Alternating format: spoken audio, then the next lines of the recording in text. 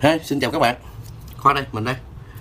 À, Hôm nay mình sẽ um, giới thiệu với các bạn uh, Cho những bạn chưa biết về uh, Một cái uh, công tắc điện tử. Đó là relay ha. Tiếng Anh là relay ha. Thì uh, cái clip này là dành cho những bạn nào mà về điện tử cơ bản chưa biết gì hết. Thì mình uh, xin phép mình giới thiệu Để cho các bạn uh, cùng với mình nghiên cứu về nó ha. Còn những người nào biết rồi thì thôi ngày xưa lúc mình mới ờ, tìm hiểu điện tử đó thì ờ, mình không biết ờ, relay là cái gì, relay là cái gì. Thì sau này mình tìm hiểu thì mình biết nó là một cái công tắc điện tử. Giống như những cái công tắc bập bên. Ví dụ như công tắc bập bên này thì mình dùng cơ, ha. Bấm qua số 1 này là có nha, là mở. Số 0 là tắt, ha. Thì thay vì cái công tắc cơ như thế này, để người ta ứng dụng vào những cái những cái mạch vi xử lý, điều khiển tự động, thì người ta sản xuất ra con relay con relay như thế này. Thì relay nó có nhiều nó có 3V 5V 9V 12V thì tùy tùy vô cái cái cái nguồn à, điện điều khiển mà các bạn xài. Thì các bạn lựa chọn cái relay cho cho phù hợp. Đây cũng là một dạng relay. Relay là, là relay à, 220V ha. Relay điện à, điện điện xoay chiều điện nhà mình đó. Và đây cũng có cái relay. Thì relay nó chia ra là có loại ờ, 4 chân, có loại 5 chân, có loại 6 chân, có loại 8 chân. Rất nhiều loại. Thì cho dù nó bao nhiêu chân đi nữa, thì cấu tạo của relay cũng là đây. Cho các bạn xem gần lại nha. Cấu tạo của relay cũng là 1 2 3 4 5 cái chân thứ năm, ở đây là cái loại relay 4 chân thì chân thứ năm người ờ, người ta bỏ mất rồi, ha. Đây rồi lên 5 chân đây. 1 2 3 4 5 4 5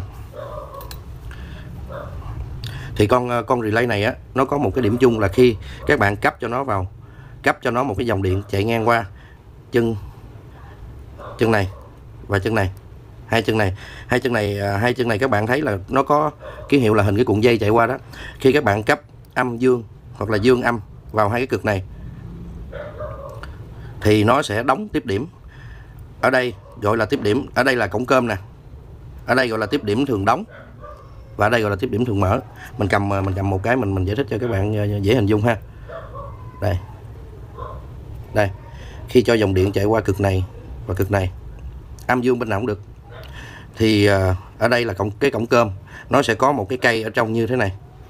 Cái cây như thế này, khi dòng điện chạy vào thì cái cây sẽ nhảy qua bên đây chạm qua cực này thì cực này với cực này được nối thông. Khi mất nguồn điện thì cái cây sẽ nhảy về đây trở lại. Cái cuộn dây này cấu tạo nó giống như một cái 500 từ để nó hút. Nó hút từ cực, cực thường đóng chạy sang cực thường mở. Như thế này đó. Đóng mở đóng mở đóng mở. Cái này ha. Thì đó là cái um, cái cấu tạo chung của relay.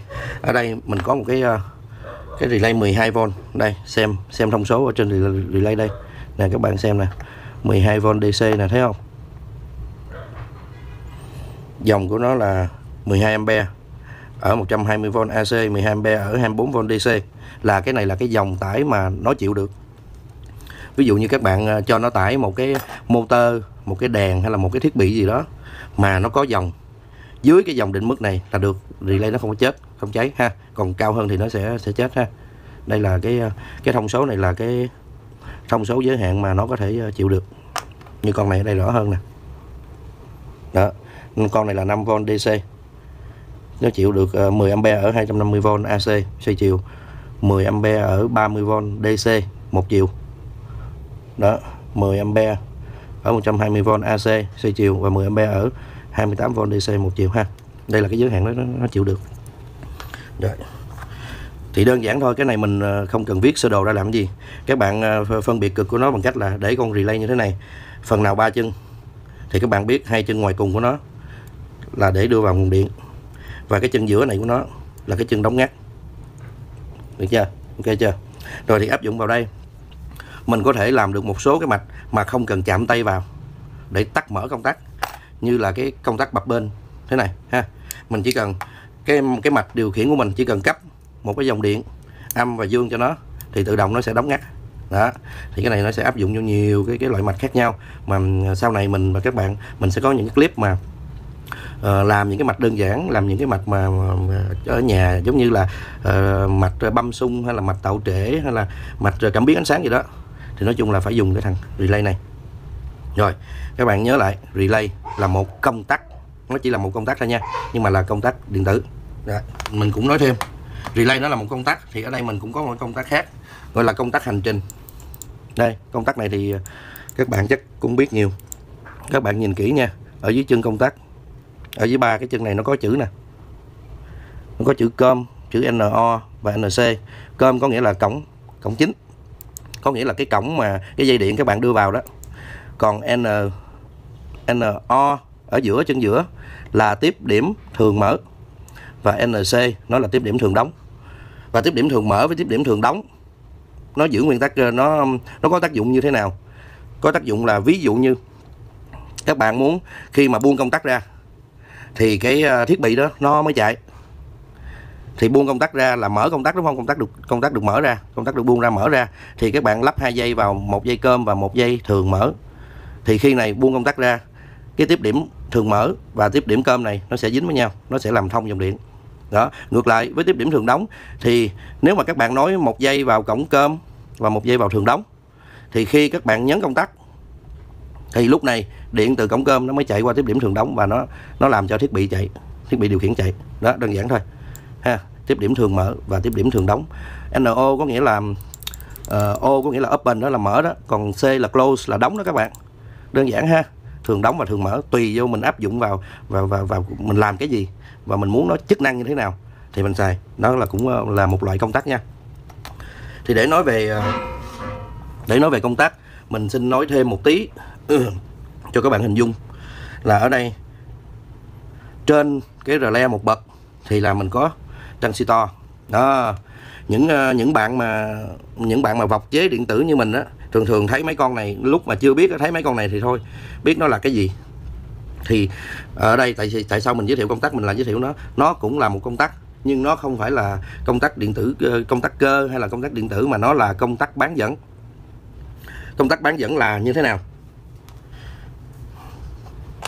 Khi cái relay khi cái công tắc này các bạn tắt mở các bạn nghe âm thanh không? Rồi có đúng không? Tại vì nó là cơ. Khi cái relay này là công tắc điện tử các bạn cho luồng điện vô nó đóng mở thì các bạn cũng sẽ nghe cốc cốc cốc cốc cốc. Bởi vì thật sự nó dùng dòng điện để nó điều khiển nó cũng điều khiển cơ để cho cái cái tiếp điểm này đóng lại với nhau.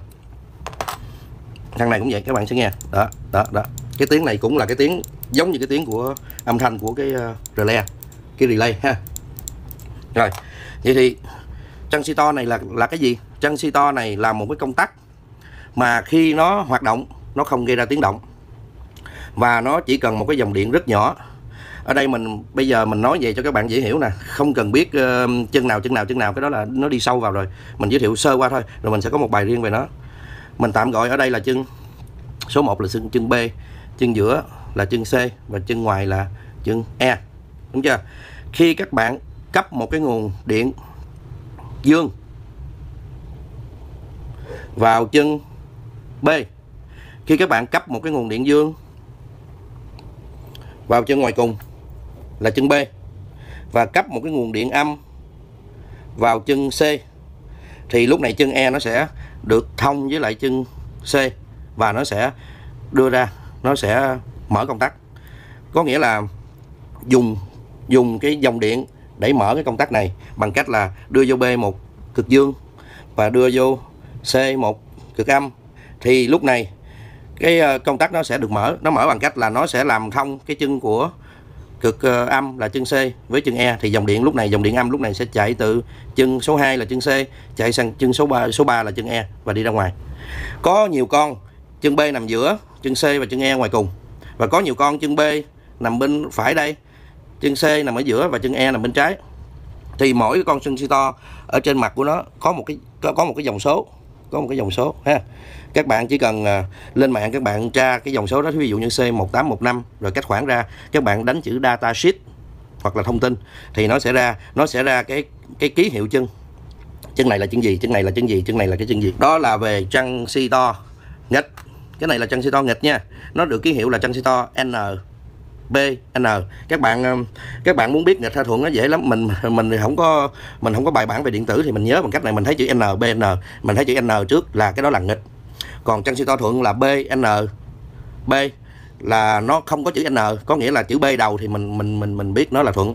Còn chân siêu to thuận và chân siêu to nghịch nó khác nhau chỗ nào? Theo mình biết thì thuận nó là khi bạn cấp điện dương vào giá trị của chân B nó có dòng điện chạy qua thì nó làm C với E thông. Và cái thằng thuận đó là khi bạn không cấp điện dương vào chân B có nghĩa là chân B giá trị nó bị mất mất nguồn điện, thì lúc này chân C với chân E nó sẽ thông. Đó đó là theo cái mình tìm hiểu, mình biết nha. Còn chuẩn ờ, hay không thì nguyên tắc nó cũng chung chung như vậy. Các bạn tìm hiểu thêm giúp mình, ha. Ok, đó là chân si to. Rồi, chân si to thì nó phải cần có một cái dòng điện để nó điều khiển con này khi chân khi khi chân si to nó điều khiển nó được nó xuất điện ra thì nó sẽ kích cho cái rle này bắt đầu nhảy. Tại vì bản thân con chân si to này nó không thể nào nó nối trực tiếp với lại thiết bị đầu ra. Thiết bị đầu ra tải rất cao có thể là một ampe hai ampe ba ampe bốn ampe năm ampe gì đó thì thằng này rất nhỏ. Mình nói uh, bằng cái những cái những những cái từ mà dân giả để cho các bạn hiểu thôi nha. Còn về chuyên môn thì mình không biết nha. Đó thì cái thằng này á, nó rất yếu nó không thể nào cho một cái dòng điện 1, 2 ampe, 3 ampe, 4 ampe những cái dòng điện lớn mà chạy qua nó rồi chạy thẳng vào để điều khiển cái đèn, cái motor, cái thiết bị gì đó. Cho nên để điều khiển được những cái thiết bị lớn thì phải dùng rle. Rle này thì rle có nhiều kiểu. Rle khởi động từ nói chung là những cái công tắc mà nó chịu được tải lớn thì thằng transistor này sẽ đưa cái tín hiệu điều khiển vào đây. Ở đây đóng, ở đây đóng thì cho cái dòng điện có tải lớn chạy qua thiết bị của mình. Bắt đầu thiết bị được mở. Thì thiết bị được mở bằng thằng này là tín hiệu. Và thằng này đưa dòng điện qua thiết bị, ha. Rồi. Sau này thì mình có thêm một cái gọi là, đây, cũng là chân si to nè các bạn. B688 là một cái con chân si to nhưng mà chân si to này là chân si to thuận đây nè. Rồi, mình có con 2 2 SA 1943 cũng là một con chân si to nhưng mà những con chân si to lớn này đó, thì nó chuyên về đánh công suất. Công suất nó lớn, ha. Để nó điều khiển những cái những cái mạch mạch nguồn hay là mạch vi xử lý hay là những cái mạch mà lớn á cần cái dòng à, dòng cao đó, thì con này. Rồi, trên cả transistor thì nó có thêm là MOSFET. MOSFET MOSFET. Đây. Đây đây đây là những con MOSFET. Nó cũng ba chân, nó cũng giống transistor vậy đó, ha. Rồi, MOSFET. Mà để biết, để nhận biết con nào là transistor con nào là MOSFET, con nào là IC thì các bạn chỉ lấy cái tên trên cái mặt nó chỉ cần lấy cái tên trên cái mặt nó các bạn search ở trên Google Datasheet thôi thì nó sẽ ra. Giống như con này là con ờ, IRFZ44N một cái con này là con MOSFET thuận. Thuận hay nghịch mình nói sao? Giờ mình uh, giới thiệu trước cái chức năng của MOSFET MOSFET cũng là một công tắc bán dẫn giống như transistor. Ha MOSFET cũng là một cái công tắc bán dẫn giống như chân uh, transistor. Thì ở trên MOSFET á, thay vì ở bên transistor là BCE ha thì ở ở um, MOSFET á, ba cái chân của nó đó là G, D và S. G là gen, D là uh, D là uh, G là gây là cổng. Nói chung là giống như là nguồn điện cấp vào, cổng cổng điện cấp vào ha. D là ren là điện xuất ra và S là source có nghĩa là tín hiệu uh, cái cái cái cái cái, cái nguồn điện uh, cái nguồn điện cấp vào.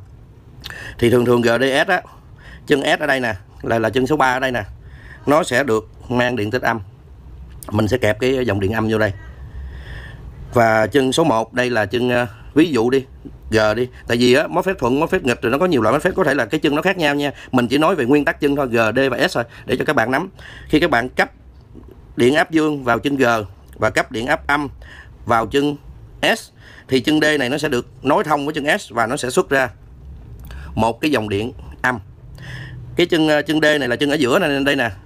Thật sự nó là nó được nối thông với cái tấm cái tấm cái tấm tản nhiệt ở đây, tấm tản nhiệt ở đây luôn nha.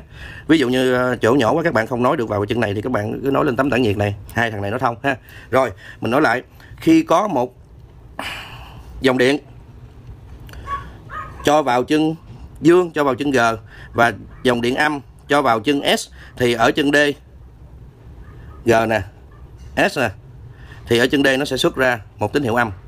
Nó làm thông, nó làm thông chân ờ, chân ờ, S và chân D nó sẽ xuất ra. Đó tương tự như transistor vậy nó khác transistor ở chỗ nào?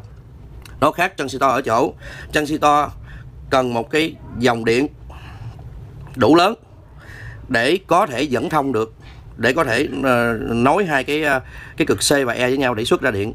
Còn riêng về MOSFET thì nó không cần dòng điện nó chỉ cần điện áp thôi. Các bạn cấp vào một cái điện áp thì lập tức nó thông. Không cần biết dòng điện đó là bao nhiêu miliampere ha, chỉ cần có ví dụ bạn à, cần 1V 2V 3V 0.5V hay gì đó là khi kích vào đây thì tự động hai cái chân à, D với chân S nó sẽ xong với nhau. Thì MOSFET nó khác ở trên à, transistor ở cái chỗ là MOSFET nó chỉ cần điện áp, nó không cần dòng. Còn transistor là phải cần dòng, phải cần dòng điện. Dòng điện phải bao nhiêu miliampere thì đối với mỗi con nó sẽ được mở nó sẽ được thông mạch mở hai chân ghép hai chân lại với nhau công tắc được đóng thì à, điều khiển thiết bị. Đó, rồi. Cơ bản là, là là vậy thôi ha. Hôm nay mình giới thiệu sơ qua thôi.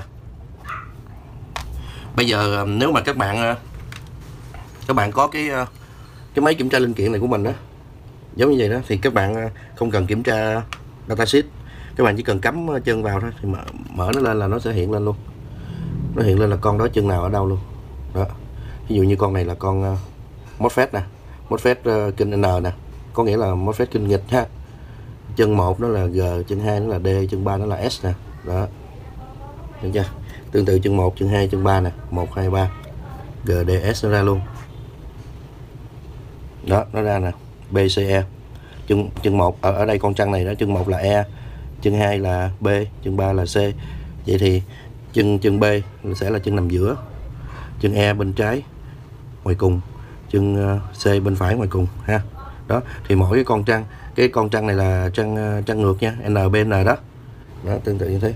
Còn nếu không có cái máy đo linh kiện này thì ờ, các bạn nhìn ở trên cái nhìn ở trên cái con này. Các bạn xem cái chỉ số của nó. Này các bạn xem chỉ số của nó rồi các bạn search uh, datasheet ở trên mạng thông tin của nó trên trên Google thì nó sẽ ra sơ đồ chân ha. Rồi rồi bây giờ mình tạm bỏ qua hết. Hôm nay hôm nay mình đi chính vào cái ờ, relay thôi. Relay ha. Cực âm mình cấp ở chân này.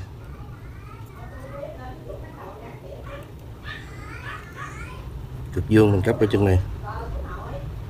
Đây. Đó, các bạn nghe nó đóng nè.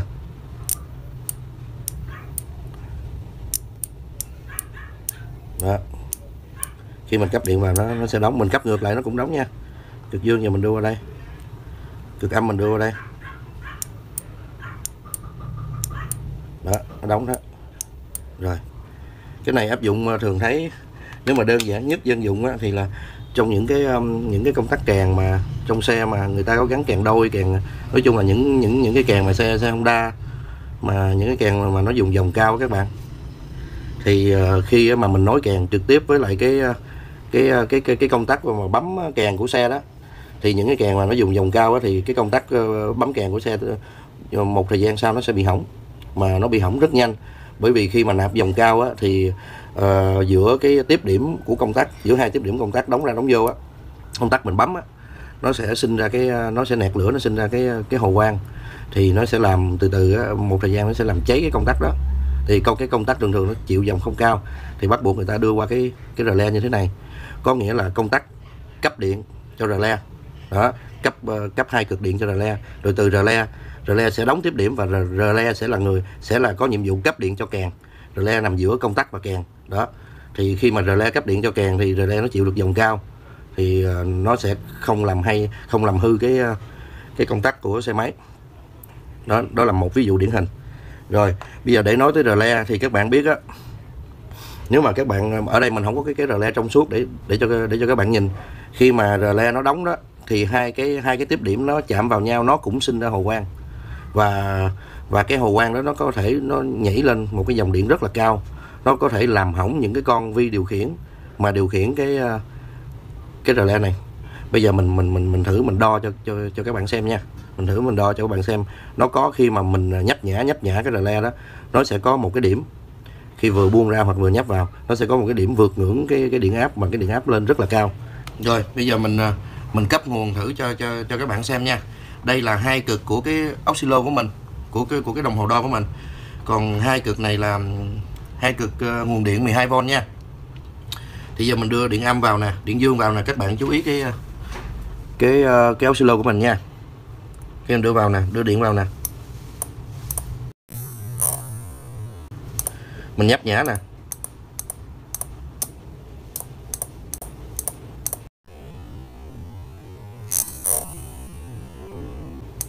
À, các bạn thấy có một cái ờ, một cái đường mà khi điện vào thì cái đường ngang này nó sẽ tăng lên đây nó sẽ tăng lên để nó đủ 12V thì các bạn thấy có một cái cái cái đường cái đường dọc sọc xuống không? Khi khi khi mà mình mình ngắt điện ra đó. Đó các bạn thấy cái cái đường dọc xuống không?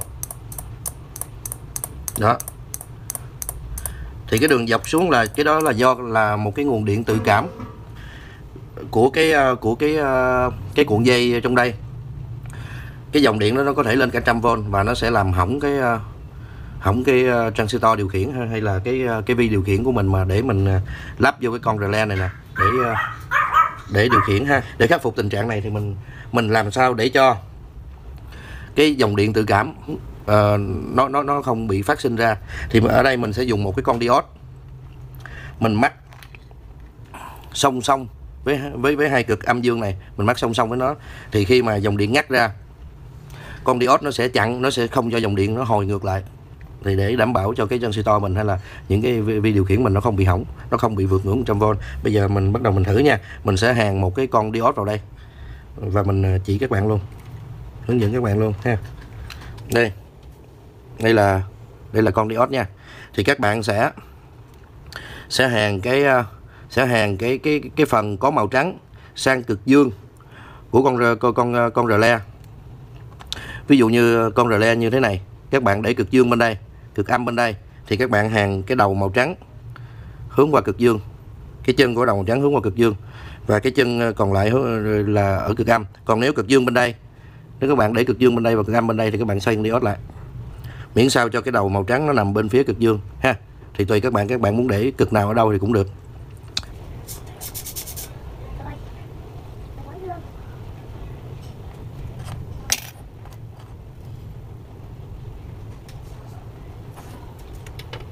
Rồi, mình đã hàng cái con con diode vào relay nha, các bạn thấy nha. Nếu mà mình hàng theo kiểu này, thì cực dương mình sẽ cấp bên đây, và cực âm mình sẽ cấp bên đây. Và mình cấp vào, mình đo lại thử bằng cái oscillo của mình ha. Rồi, các bạn để ý nha. Xem còn hiện tượng đó nữa không?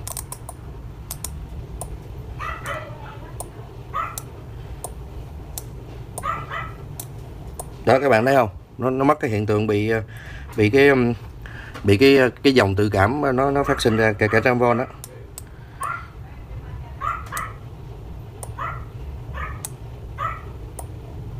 cấp vào nè, mở ra nè. Cấp vào nè, mở ra nè. Cấp vào nè, mở ra nè. Ok, vậy là lời khuyên của mình là khi mà các bạn dùng relay để điều khiển vi xử lý hay là điều khiển ờ, còi đèn báo động hay là cơ, hay là bất cứ cái gì đó, các bạn nên dùng một con diode, hàng như thế này hàng cái phía, mình hàng đi diode cho nó ngược lại phía cực âm vào cái phần dương, ha, để cho bảo vệ cái thiết bị điện của mình, bảo vệ công tắc của mình, bảo vệ những cái vi điều khiển của mình, ha, nên như vậy. Rồi, vậy thì à, đây là xong phần relay, ha, relay. 12V 5V 3V 9V 220V đều có nguyên tắc chung với nhau vậy. Thì các bạn, khi mà các bạn à, mua relay đó, thông thường đó thì trên relay nó có, nếu mà những cái relay nhiều chân á 6 chân 8 chân gì đó thì nó đều có cái sơ đồ trên đó hết. Thì các bạn kiếm cái chỗ nào mà có cái cái cái cái cái, cái ký hiệu mà của cái cuộn điện như thế này nè thì đó là hai cực âm dương ha. Còn tất cả các cái các cái chân còn lại thì các bạn nhìn kỹ các bạn sẽ thấy là sẽ có chân thường đóng và chân thường mở. Ừ. rồi giống như ở đây nè ở đây mà có cái hiệu gạch vô nó nói với đây luôn nè là đây là chân thường đóng. Còn ở đây nó nó cắt ngang ở đây nè là chân thường mở ha. Đó. À, đa số relay đều có cấu trúc tương tự như vậy ha. Rồi, ok. Thì à, bài sau mình sẽ phần 2 mình sẽ tiến hành à, thực hành uh, một số cái của relay để cho các bạn nắm thêm về về về relay ha. Ok xin chào các bạn. Chúc các bạn thành công. Nếu thấy clip hay thì các bạn hãy bấm đăng ký kênh bấm vào nút chuông để bật thông báo và đừng quên bấm like share cũng như đóng góp ý kiến ở phần bình luận bên dưới để ủng hộ tinh thần cho mình làm tiếp những clip mới ngày càng hay hơn nữa nha. Cảm ơn các bạn. Love you.